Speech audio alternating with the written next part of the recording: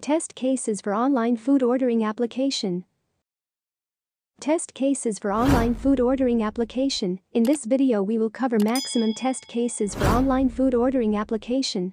In this video we will discuss 1 test cases for ordering page. Test cases for ordering page. Test cases verify that the restaurant name with rating should be displayed clearly. Verify that restaurant photos should be displayed properly or not. Verify that list of the cuisines should be displayed under the restaurant names. Verify that user should be able to see veg and non-veg category on the ordering page or not. Verify that if user selects veg items, then only veg food items should be displayed.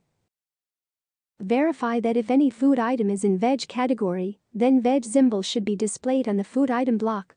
Verify that if any food item is in non-veg category, then non-veg symbol should be displayed on the food item block. Verify that if user selects non-veg items, then only veg food items should be displayed. Verify that user is able to see billing discount on the order page or not. Verify that user is able to see total numbers of reviews on the ordering page or not. Verify that user is able to see reviews by the category or not. Verify that mode of the delivery is displayed properly or not.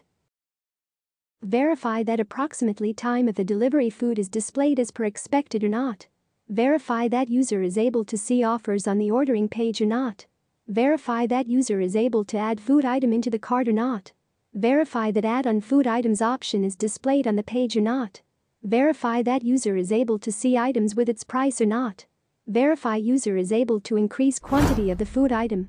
Verify that user is able to decrease quantity of the food items. Verify that user is able mark as favorite food item or not. To stay up to date with the latest videos and test cases examples, make sure to subscribe to this YouTube channel by clicking the button above this video. Like this video and subscribe this channel. Thank you for watching.